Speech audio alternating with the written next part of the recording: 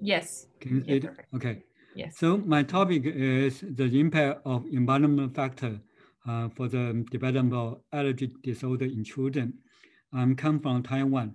Um, uh, I'm a pediatrician. I focus on the how the environmental factor that can uh, affect the children that develop allergy disease.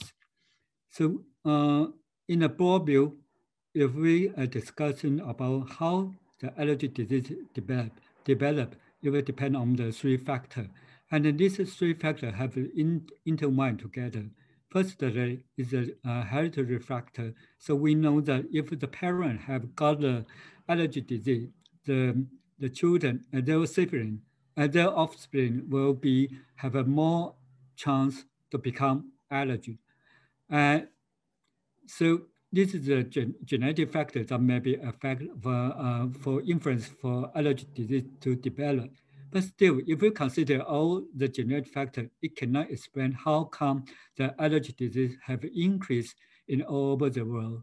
So the environment factor is also very important that uh, can affect the susceptibility gene to develop. So the gene and environmental uh, factor inter, uh, interact together, then they will affect our development for our immunological system, such as the become a deviate to the so-called type 2 immune response. And uh, we already know that all allergy diseases that belong to the type 2 immunological response that will produce a lot of IgE and also a lot of uh, so-called type 2 cytokine, including for the IL-4, 5, IL-13, and the other, uh, the other uh, mode uh, uh, affected for the sexual chemokine. But if you consider all the allergy disease study for very young child that become atopic dermatitis, and um, the organ also involved uh, in, in the GI tract and also the GU tract and uh, sorry for the uh, respiratory tract. All these uh, organs have a contact with our environment. So in fact, a lot of allergy disease, you can see that it's belong to the so-called environment, environmental affected disorder. And more importantly, if you uh, see, there have several uh, considered uh, common pathological phenomenon. Uh, I think the most prominent is the so-called mucosa inflammation. For example, if you see the rhinitis patient, the, the mucosa membrane uh, in the nasal cavity, they will all have the infiltrated for inflamed cells that will belong to the eosinophil. And for food allergy, the GI mucosa inflammation also have an inflamed cell that is all more, uh, not, um, more belong to the eosinophil and also mast cell activation. And we already know that atopic dermatitis is the skin barrier disease and also have infiltrate inflammation in the cell epithelium. And for example, that uh, very common is for asthma, that is also bronchial epithelial cell. So this mucosa member have a contact with the environment. So definitely environment factor will affect our disease to come up. So if we consider uh, for the allergy disease to develop in our old life, that is very occur very early. So during the uh, uh, during uh, quite um, uh, about um, six months of age, the patient if they have suffered for the type 2 uh, immune uh, deviation for the immune system, they will become atopic dermatitis. So a lot of, at, the at that time, during the uh, early birth, uh, early child, that is genetic uh, affected. But after that, all the environmental like infection, vaccination, or there were um, the air pollution, they will become a several um, insult factor and then they will induce more uh, mucosa inflammation, and then, and uh, also more affected that will cause the allergy disease come up. So if we consider all the risk factor for allergy development, is included for the genetic factor? I just uh, told you, the, the have, uh, have a parental uh, hereditary factor, but this factor all involve all, all influenced and affected by the environmental factor, such as pollution, air uh, uh, pollution. And then the other is the, how they interact together that affect our immune system become a type 2 uh, immune deviation. So if you consider all our environment starting from very early even during the during the uh, during during the uh, mother um, before the delivery, the in the uterine, the mother uh, the the environment such as living in the farm area is definitely more uh, have a more resistant to become a uh, for allergic disease as compared to the uh, city um, in the urban. And then the, uh, the other part is that we found the indoor environment also is affected for um, for the child that become uh, allergic. So uh, for example, if we consider for the uh, and also outdoor auto pollutant such as like uh, we know the air pollution and also the climate change and some of the burning effect, they all have affected in our environment. And the other place is previously we have published a paper regarding about the climate change, such as in the very severe, uh, uh, uh, severe um, um, spill weather, such as during the storm or lightning uh, uh, situation, that would, would cause uh, already to have a lot of pollen that become a, become a small particle that will become a sudden uh, insult, uh, become an asthma attack.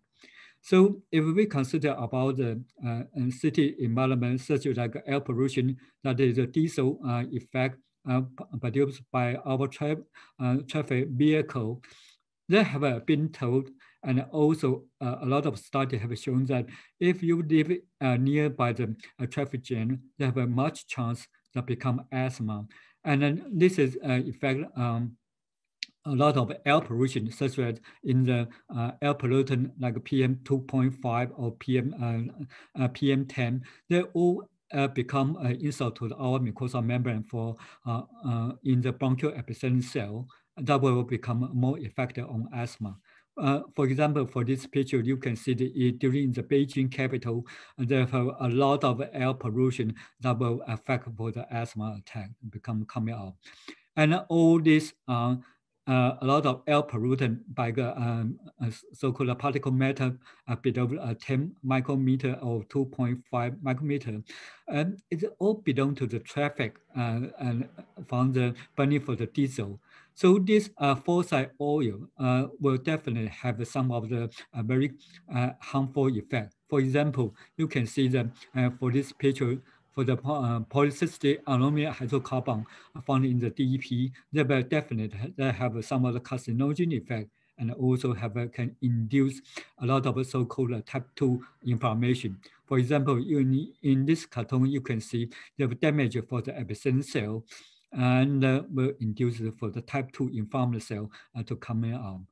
And previously, we have shown that uh, for the environment, particularly for the uh, uh, for the oron and also the DEP, interact with with um, uh, indoor like endotoxin that will have um, um, activate for the for the innate immunity that will become inflammation.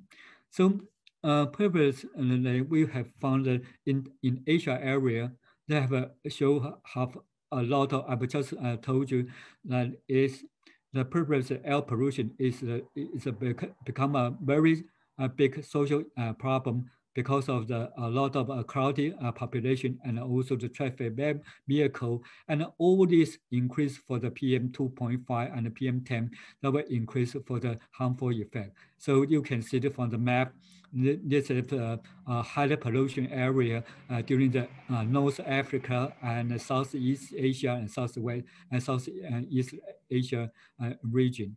So if we uh, consider for all these effects, we have conducted a study in Taiwan that is in uh, we have uh, collect the uh, school children.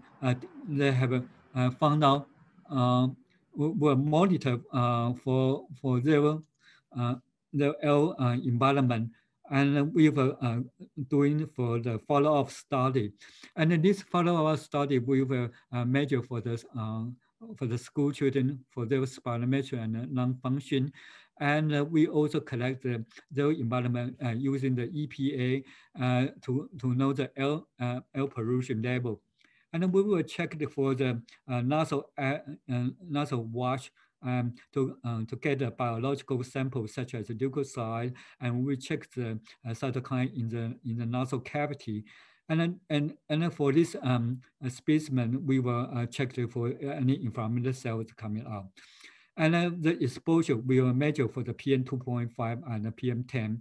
And also we will like to see uh, the air pollution air um, um, condition like ozone or uh, uh, nitrous oxide or, or disulf uh, or sub uh, or diox uh, dioxide. And so you can see from this picture, you can see that if the page, if the environment have been shown that increase for the PM uh, 2.5 by 8%, and then therefore definitely the pulmonary function uh, test, uh, pulmonary function and, and performance have been decreasing uh, by, by about 8%. So actually, you can see the forced vital capacity is reduced one day after the high exposure for the PM 2.5. So this is the, it's not just only a social study. We show that high pollution area will definitely involve for damage for the lung function for in the school children. And we also show that this is the cause effect because if we increase for PM 2.5, that will definitely reduce for the forced uh, vital capacity. And more importantly, you can see the lung, uh, uh, uh, nasal cavity that will increase for the inflammatory cell even after uh, at the same day of the exposure. So uh, PM 2.5 actually have related uh, to the childhood uh, emerging visit uh, uh, due to the asthma in Taipei uh, area in the capital of Taiwan. So you can see that if there's an increase for the PM 2.5, the odds ratio will also increase for the asthma patient to visit emergency EM.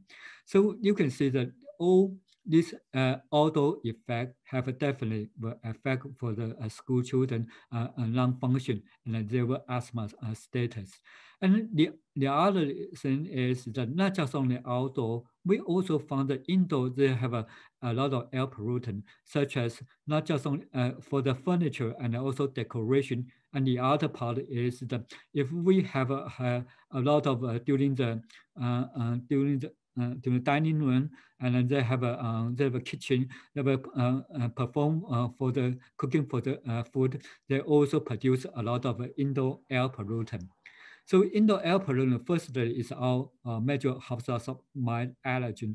And house-dust-mite allergy is previously have um, we have been shown that they can directly activate for the innate molecule by like a TOL2 and a TOL, TOL4.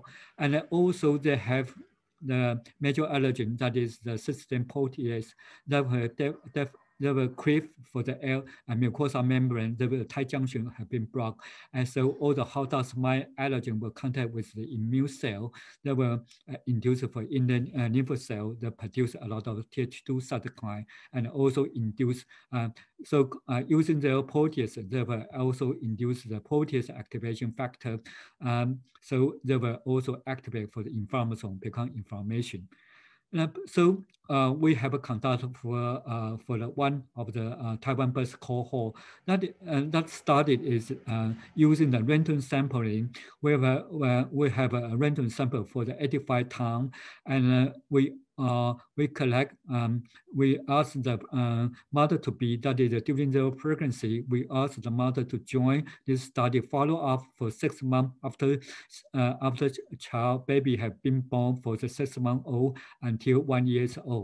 So we have, uh, do, uh, so at that time, uh, all the, uh, this is the follow-up study for until six months of age. And then we found that during the six months, the first sign for the allergy disease is uh, atopic dermatitis. And then the incidence is about, um, uh, about four point, uh, uh, about uh, 6.7. But um, is, is not related to the mother, uh, mother smoking or air pollution reported. And what we found more interesting is that if the indoor have an instant burning, therefore decrease for the AD uh, risk um, uh, uh, for child develop for the atopic dermatitis. But if the child uh, have a live in the indoor environment, have a fungi there, if more increase for fungi on the wall, uh, so that it be that means that the housing is very humidity. That will increase for atopic dermatitis uh, risk factor for uh, become 2.3 that is the uh, more than uh, more than double uh, for the for the risk to develop atopic dermatitis. So you can see that from the geography, uh, Taiwan have a, lot of humidity because Taiwan is an island that have a, a, a lot of humidity in the house. If the uh, and also have a very uh, fungi in the wall. So previously we found that if they have a more uh, colony in the uh, in the indoor, they will also increase for the IgE level, and then this IgE level will definitely will increase for the uh, incident for the atopic dermatitis. And if we incorporate for the mother uh, stability and for the uh, if the uh, parent have asthma or or so-called allergy disease, so and they have a dip in the humidity house, so the uh, odds ratio will uh, start from the 2.9 become a 9.4. That, so this is very uh, strong evidence that will show the so-called environmental factor and interact with the hereditary factor G by E action that will increase for the uh, for the risk factor for develop for uh, uh, for, for the child allergy disease coming out. And the other very important for the indoor air pollutant is our furniture that if they contain some of the volatile uh, uh, uh, uh air or gas, such like a formaldehyde, they will, they will, um, they will damage to our air uh, uh, about our bronchial epithelial cell that will become more easily become asthma. And the other factor that is uh, also uh, we found that is uh, also important factor is the plastic.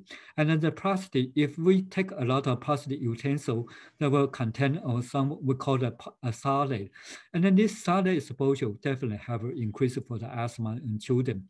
And then uh, one of the studies have shown that if we burn for the, the, the uh, infant uh, milk bottle or using the pacifier that is uh, made by the prostate that will increase for the incident for the asthma. And uh, if we take it for all these um, uh, prostate, we will take it out. You can see a lot of uh, fatty acid have a, uh, benzene ring. That uh, is, is the so-called environmental uh, uh, chemical hormone that will induce a, a type 2 inflammation. So in Taiwan, you can see that if we, uh, uh we cycle for the for the uh, the carpet, and we found that that will increase uh, for, in the central dust that will increase for the prostate, uh, we call it DEHP. And uh, so this is a quite uh, important uh, factor for, for the child for if they stay long in um, in the indoor air and they have a contaminated with a lot of plastic utensil and also plastic that will increase for the uh, their asthma. So uh, we have using this uh, paper, uh, use study. Firstly, we consider, isn't it possible that exposure to the phthalate that will increase for the allergy asthma? So this exposure is very early and so we collect the phthalate in the dust, and we measure for the for, for the disease uh, any chance that increase uh, for the odds ratio for the asthma. And we also uh, measure for the urine uh, metabolite to make to make sure that the the the, the baby or the child have been uh, live in the this indoor have been really have exposure to the plastic. So you can see from this uh, table uh, that uh, they have a phthalate exposure and also disease correlate with the asthma. Uh, so you can see the case, that the increased odds ratio is more than sevenfold. It's really, uh, uh, that if they increase more on the plastic, uh, like salad, and also urine have a measure for the B, BPZP. And so the BPZP have an increase for the odds ratio to come down. And for, for the, the other metabolite also show the same effect. So is the environment and the biological monitor, we found that if they have exposure for the uh, volatile and uh, such a formaldehyde, or even for the uh, uh, for the prostate, they will increase for the oxidative, uh, stress and then also type 2 cytokine uh, inflammation. And then this type 2 cytokine inflammation will, will increase for, for their chance to become asthma. So this is my final slide is I want to uh, make a, uh, so um, previously we have found that genetic and environment and also G, G by E interaction will increase uh, for the chance that our immune system become a type 2 inflammation and in Taiwan, we have measure for the outdoor air pollution and indoor pollutant. And we found that increased risk for the length of using a feeding bottle will definitely increase for the asthma uh, to attack. And also uh, the urine, they have a major met, uh, metabolite for the any plastic exposure uh, using the DPB or BPDP. And we found is a correlate for the um, for their exposure uh, for the environmental uh, plastic uh, um, particle, and we found that all, all the uh, increase for exposure will increase for the chance to become childhood allergy and and asthma.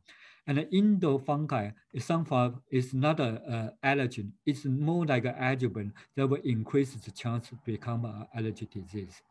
So finally, uh, for our climate, and this is not just only for the consider about the allergy. We have to consider about our climate change and also the uh, indoor and outdoor environment.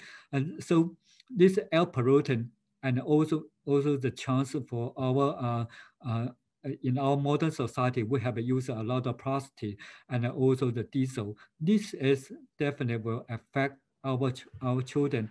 Our air become an allergy disease. So how come is a modern society will increase for this chance? I think the uh, final way how we were using the, uh, we already identified the risk factor for the uh, uh for the child for the asthma. So it's very important that we have to protect them, uh, protect all these factors before the child be, being born, before the delivery, and even during the mother have a, during the pregnancy, and started for the uh, protection uh, for this risk factor and then we can maybe we can treat or prevent for allergy disease to come out. So I would like to thank uh, my uh, uh, my lab uh, member uh, that include a PhD student and a research assistant. And uh, thank you for your attention, uh, uh, attention for, for this lecture. And uh, welcome, uh, you have a chance to visit Taiwan.